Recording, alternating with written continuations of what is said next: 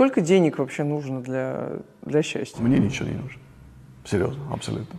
Я работаю не ради денег. Абсолютно. Никогда не работал ради денег. Ну, деньги для достаточно, чтобы жить, это понятно, это как бы альтруизм. Но для меня лично я абсолютно нематериальный. Ну, спросил Ларисы, моей жены, она скажет, как бы, я вообще не знаю, что ему купить. Нематериальный банкир.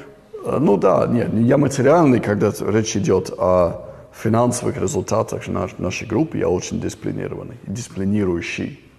Для меня лично, мне ничего не надо. Она, она постоянно жалуется, что тебе купить, потому что мне, мне нужны горы. Дети, понятно, на первом месте э, с семьей. Прогулки э, высо- высоко в горах, камни круги, мои и, и все.